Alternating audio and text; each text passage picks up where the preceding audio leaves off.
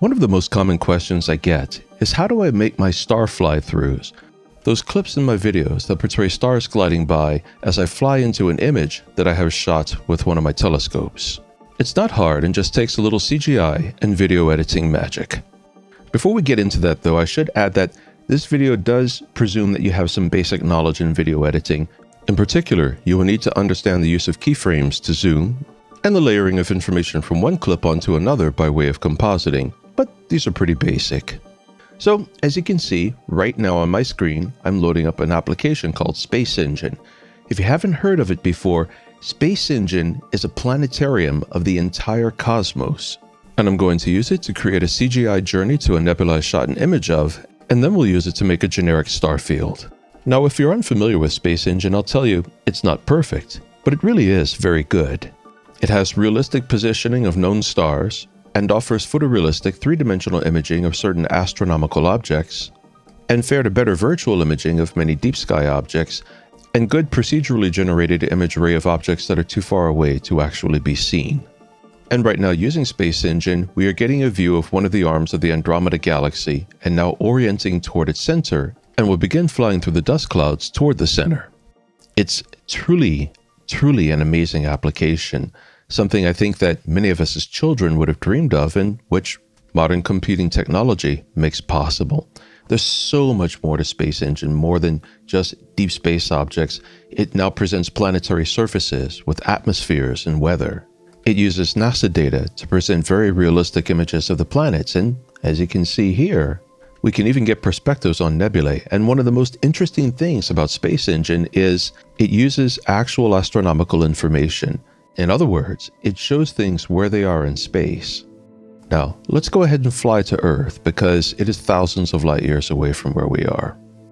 But as you can see, space is really big. How the heck do we find Earth in all of this? The easiest way is to use the search option.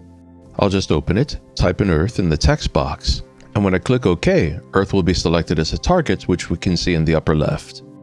I can then select the center icon to center on it. The position of Earth is now in the center of the screen. I can now click again on the search box, select Go To, and will quickly fly to the position of Earth. If only we could do this in reality, we have just now in a matter of seconds covered thousands of virtual light years.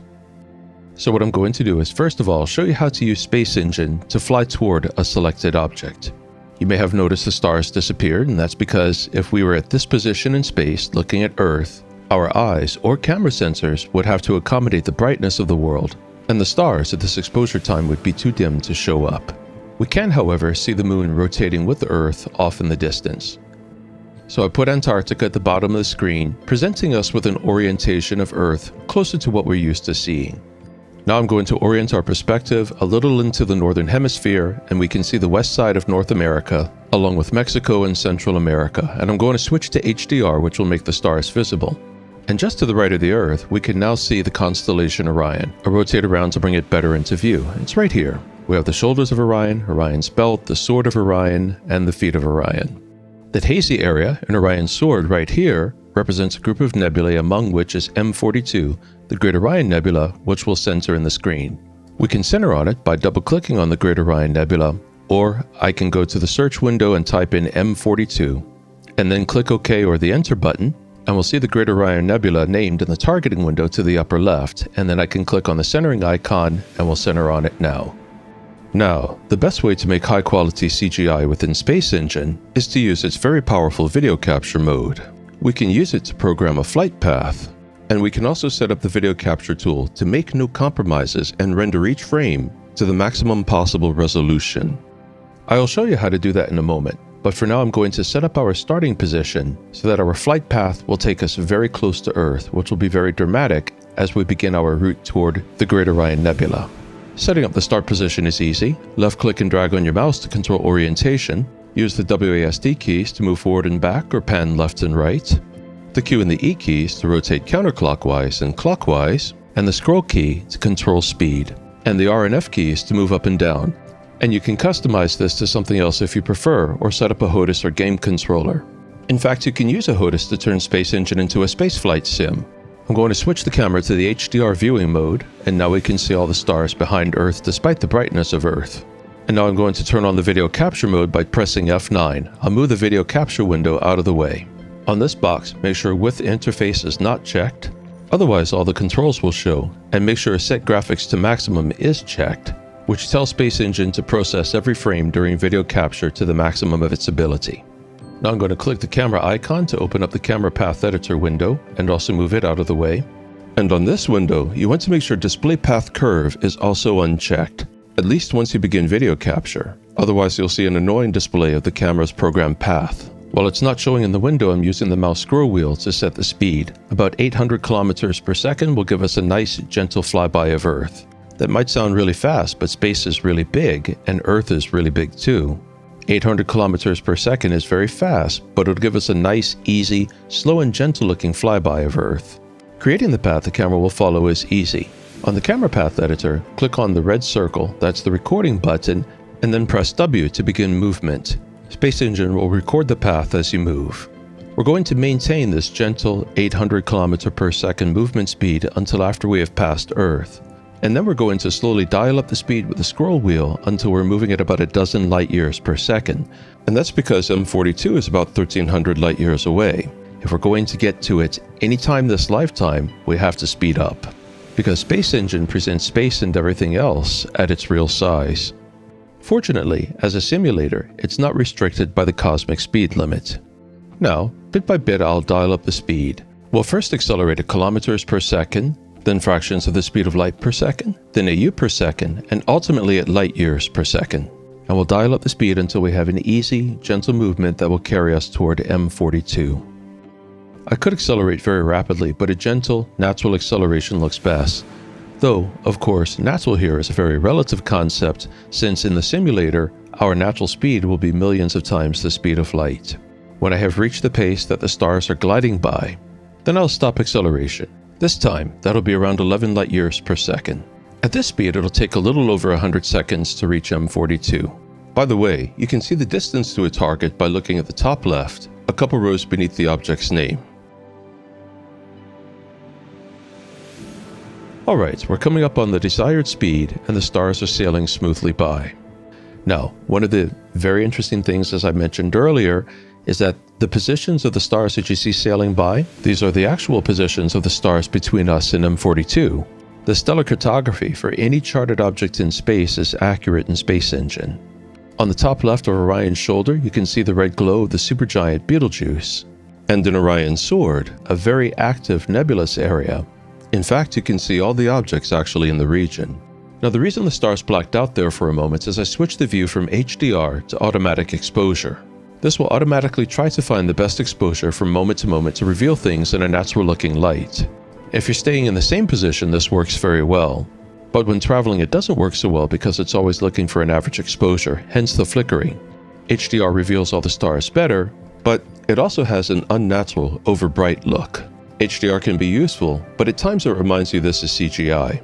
For the most realistic looking star fields, switch to manual, then adjust the brightness of the exposure to whatever you want. You'll get a more realistic looking stellar fly-through that way, without the flickering that you get with auto exposure. Camera mode and exposure adjustments are in the lower right. As we get closer to M42, you can see some of the other nearby nebulae, such as the complex on Orion's belt where we find the Flame Nebula and the Horsehead. Making CGI spaceflights from Earth to a DSO that you have shot is a great way to bring life and perspective to those images. And because Space Engine portrays the actual position of the stars and various other objects in the sky between and beyond the DSO that you shot, it is also educational.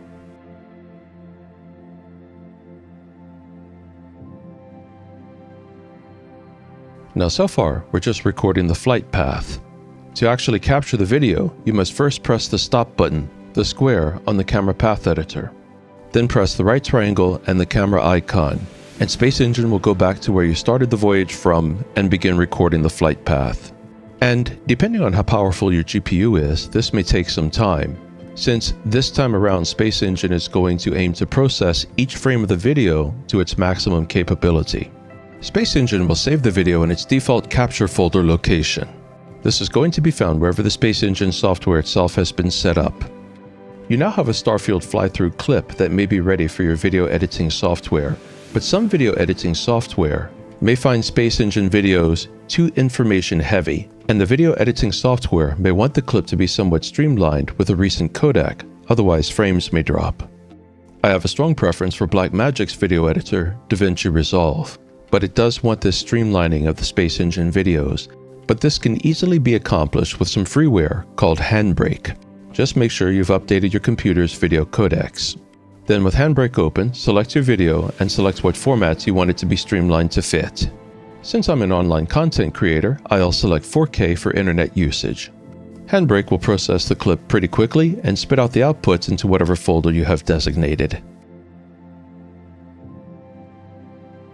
Now this technique is great for creating a star field portraying yourself flying toward a specific DSO, but you may want a generic star field that you can quickly lay over any DSO that you happen to shoot and want to create a video clip of. To create a generic star field, you need to make sure there are no distinct objects within the field. That's easily accomplished. All you have to do is pick a direction without any distinct objects in it. Adjust your speed to show the star smoothly gliding by, and then click the record button for however long you want. For my generic usage star fields, I will usually run 60 second recordings, but as this is just a sample, I'll make a brief recording, maybe 20 seconds. I find stars look tightest and best with the virtual camera set for manual, and using the plus, minus, and back to neutral buttons, which are just right of the HDR auto manual button, I'll adjust the brightness of the stars to what I want. Then I'll press the path recording button and hold down W and begin moving forward again. For this clip, I'll fly 20 seconds. Then, on the camera path editor window, I'll press the square stop button, then the right triangle with camera button to begin CGI recording. Space Engine will then fly that path recording video at its maximum capability as it goes along. And when done, I'll drag that video into Handbrake just like I did with the last one and prepare it for use in the DaVinci Resolve photo editor.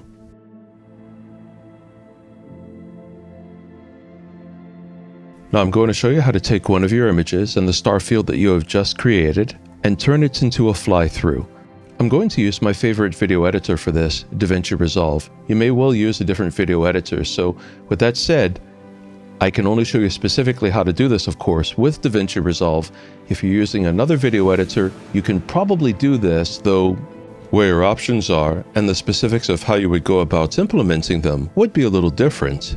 But in the end, you need your image and your star field, and then you're going to composite your star field on your image, most likely with a screen composite mode. So the first thing I'm going to do is drag in the starfield clip and the image that I want to apply the clip to. Since we started out by virtually flying from Earth to the M42 Nebula, let's start out by flying into the M42 Nebula, but this time using the mosaic that I shot a couple months ago. I've dragged the image of the mosaic into the timeline and I'm going to make it 10 seconds long. Then I'll drag the Starfield fly-through clip into the timeline and place it over the mosaic. Now I'm going to begin by clipping off about a half second from the beginning and the end of the clip. There are sometimes some minor artifacts that appear in the moment that a clip begins and in the moment that a clip ends. And the simple precaution makes sure those artifacts cannot show up. Now I'll trim the extra Starfield clip length from the Starfield footage. Then I'm going to set the Starfield clip to the screen composite mode. This will add all the light but ignore the black from the Starfield clip to the Nebula clip. Now you can see the Starfield clip was shot in a rectangular format of about 16:9, giving us overhanging stars. The crop of the Starfield clip needs to match the crop of my camera's square IMX533 sensor, so I'll use the cropping tool to crop the left and the right side of the Starfield clip. And now, all we have to do is push the play button to see how well it works and you can see us smoothly sailing through the stars on the way to our beautiful M42 nebula. If I were so inclined, I could take that original CGI video of flying from Earth to M42 and composite in the actual image I shot of M42 so that it began to appear somewhere near the end of the journey so that the video would smoothly transition from the CGI, which is good but far from perfect, to the very detailed and exquisite mosaic of M42 that I shot with my SCT. And we can cover that too if you want in a future video, but it's not a topic for this one. Let's try this with a different deep sky object. I really like the effect when flying into star clusters. It just feels very dramatic somehow when you're flying into a cluster of stars with a star field, and the image and the CGI star field work together so synchronously, so dramatically, they seem to explode into life. So let's do this now, and this time I'll apply a bit more zoom to really enhance that feeling of flying in.